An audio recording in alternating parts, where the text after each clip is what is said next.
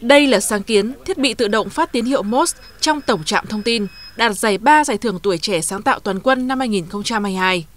Sáng kiến gồm một phần cứng và hai phần mềm, cài đặt trên hệ điều hành Windows 10. Phần cứng có kích thước nhỏ gọn, dễ dàng cơ động.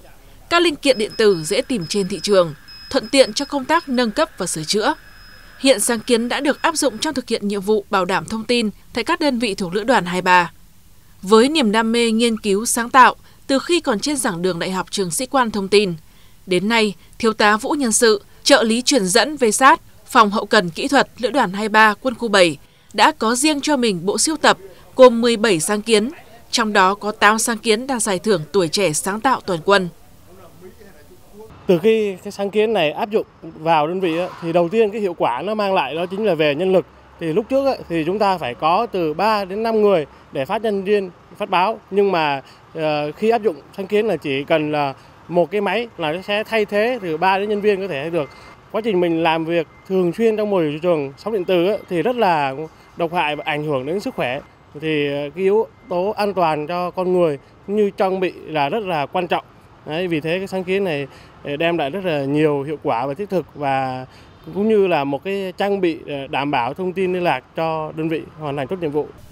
Sáng kiến bộ đàm đa năng sử dụng công nghệ IP IOT được nghiên cứu vào năm 2021, dùng trong phối hợp hiệp đồng giao nhiệm vụ, kiểm tra, huấn luyện, công tác và thực hiện các nhiệm vụ khác của đơn vị, đã khắc phục được tình trạng giới hạn về khoảng cách, có cấu tạo nhỏ gọn, giúp liên lạc hiệp đồng xuyên suốt giữa các bộ phận, tính bảo mật cao trong phục vụ diễn tập và các nhiệm vụ khác.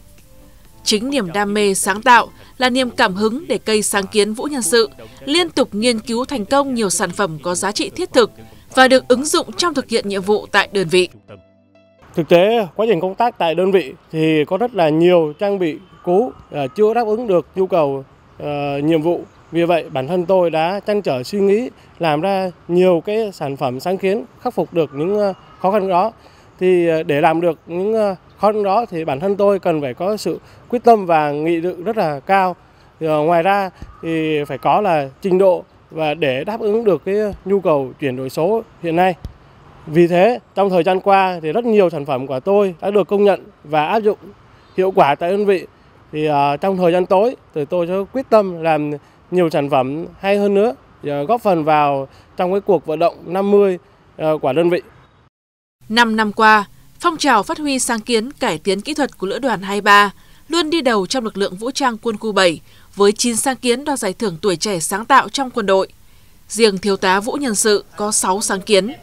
Những cán bộ chiến sĩ tâm huyết, trách nhiệm như thiếu tá Vũ Nhân Sự là đại diện cho tinh thần vượt khó để trưởng thành của lữ đoàn.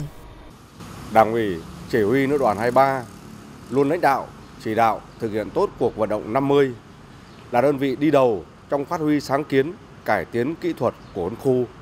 Bên cạnh xây dựng triển khai kế hoạch chặt chẽ hàng năm nữ đoàn còn cấp kinh phí, đồng thời luôn làm tốt công tác tuyên dương khen thưởng để cán bộ chiến sĩ tích cực nghiên cứu, có nhiều sản phẩm mới.